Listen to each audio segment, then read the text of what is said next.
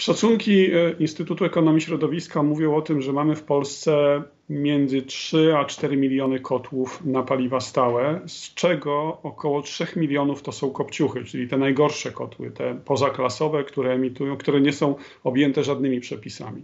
No i mówimy w skali Polski o 3 milionach kotłów, które powinny zostać zlikwidowane, jeżeli chcemy poprawić jakość powietrza.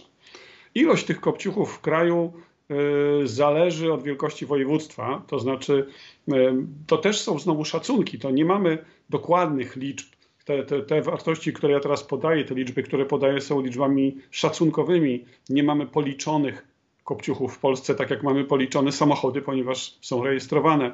Więc y, patrząc na województwa, mm, mazowieckie to jest około 400 tysięcy, śląskie ponad 400, y, Małopolska to gdzieś pomiędzy 300 a 400 tysięcy sztuk kotłów. No tyle ich mamy. I teraz, jeżeli patrzymy na to, ile się udało ich polikwidować, no to tutaj niestety nie ma dobrych wieści, bo wiemy, że w programie Czyste Powietrze, czyli tym rządowym programie dotacyjnym, e, udało się do tej pory e, zlikwidować fizycznie, zamienić na inne źródła ciepła 70 tysięcy sztuk. Więc jeżeli patrzymy, to tego możemy dorzucić trochę e, kotłów wymienionych z programów dotacyjnych E, gminnych czy miejskich. Część kotłów po prostu zlikwidowali ludzie, nie korzystając z żadnych dotacji. Niemniej wciąż, nawet jeżeli dojdziemy do liczby 100 tysięcy rocznie, czy ponad 100 tysięcy rocznie, to widzimy, że w liczbie tych 3 milionów, czy ponad 3 milionów sztuk, no to to jest znikoma wartość, to jest kilka procent.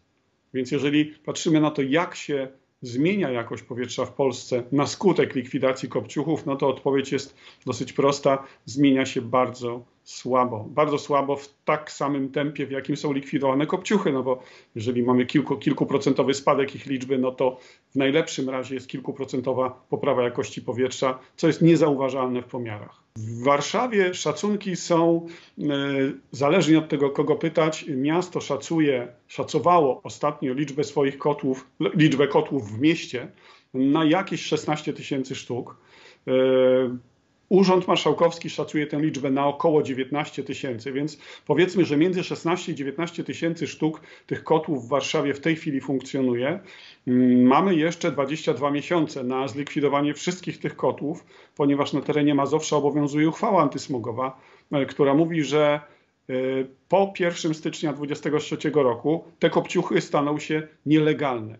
Nielegalne to znaczy, jeżeli Straż Miejska odwiedzi nas w domu i zobaczy taki kopciuch, to będzie mogła wystawić nam mandat tylko za to, że go mamy, że go stoi w kotłowni. On po prostu będzie nielegalnym źródłem ciepła. No więc mamy 16 plus kotłów, 16 tysięcy plus kotłów w Warszawie i mamy niecałe dwa lata na ich likwidację, co jest sporym wyzwaniem. Y, to znaczy, nie mówię, że to jest niemożliwe, to jest do zrobienia, bo Kraków, który jest y, miastem przecież mniejsz, o mniejszej skali, w najlepszym roku udało im się zlikwidować 6300 takich kotłów. E, więc Warszawa, która jest e, większym miastem, z powodzeniem mogłaby osiągnąć ten krakowski poziom wymian, e, gdyby się dostatecznie mocno zaangażowała. W tej chwili, w roku 2020, program dotacyjny miejski, który istnieje, trzeba przyznać bardzo szczodry, dobry program, doprowadził do tego, że złożono 2220 wniosków. Czyli tyle wymian kotłów wydarzy się na pewno, bo ludzie już złożyli aplikację o pieniądze. No ale żebyśmy zdążyli w Warszawie z, zgodnie z przepisami, które obowiązują, no to w tym roku musimy no, wymienić co najmniej 6 tysięcy, 7 tysięcy i w kolejnym roku tyle samo. I wtedy możemy powiedzieć, że wpływ kopciuchów na miasto Warszawa będzie zerowy. I to jest wyzwanie, przed którym stoimy w mieście.